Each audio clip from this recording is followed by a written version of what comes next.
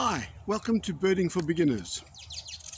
Have you ever watched a parrot in a parrot's cage and watch it crawling around upside down inside the cage and pecking at things and just making like, probably like a monkey? Quite intriguing. Yes, we're looking at perching feet or climbing feet. If you look carefully at that parrot, you will see that it has two toes pointing forward and two toes pointing backwards. There are many subcategories, but the main category of, of toes pointing forwards and backwards like that, two forward and two backwards, is called zygodactyl. This type of feet are found generally in woodpeckers, parrots, owls, some cuckoos, some of the toucan families too. They often have curved nails on their toes as well, and this helps them grip onto the branches, and those claws are sharp. The other class of birds that cling onto branches like that are the songbirds or perching birds. They have three toes pointing forwards and one backwards bit bit like our thumb pointing backwards and three toes pointing forwards. And again these grip very tightly onto onto the branches. Very interesting how that works. Attached is a picture of the mechanism.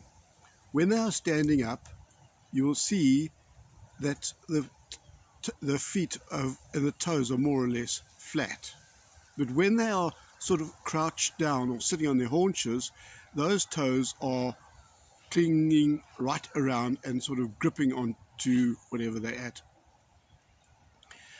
During one lecture I, I heard, they told me that sometimes these songbirds or these perching birds do that before they go to bed.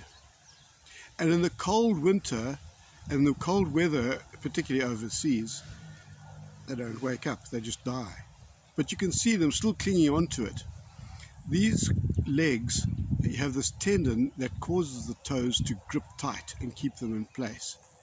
It causes them not to fall off and actually releases any muscles that need to work during that time so they can relax.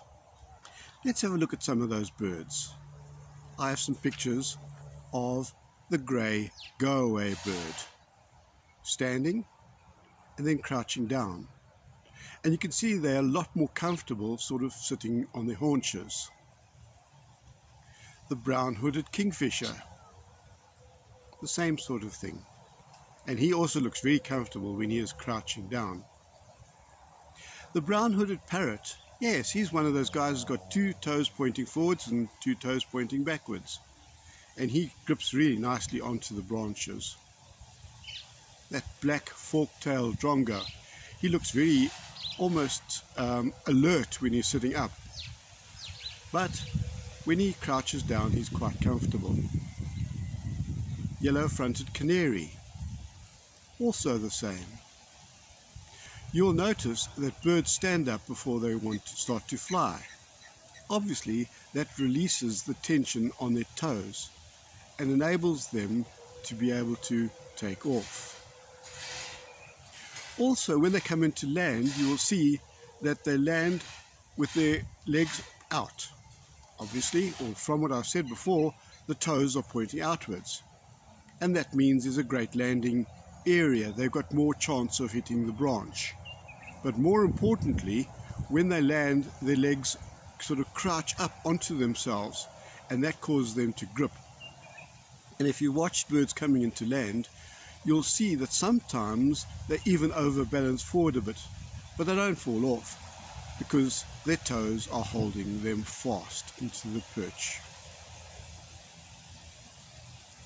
I mentioned that they straighten themselves before they take off. You'll also see that birds tend to poop before they take off. My pet theory is that they don't want too much load on board before they take off. Excuse the grey go-away bird. He thought I was talking about him too.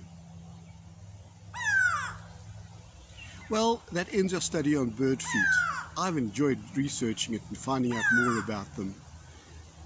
I can't fathom the depth and the beauty of the creation of those birds and how they are adapted to exactly what they need to do.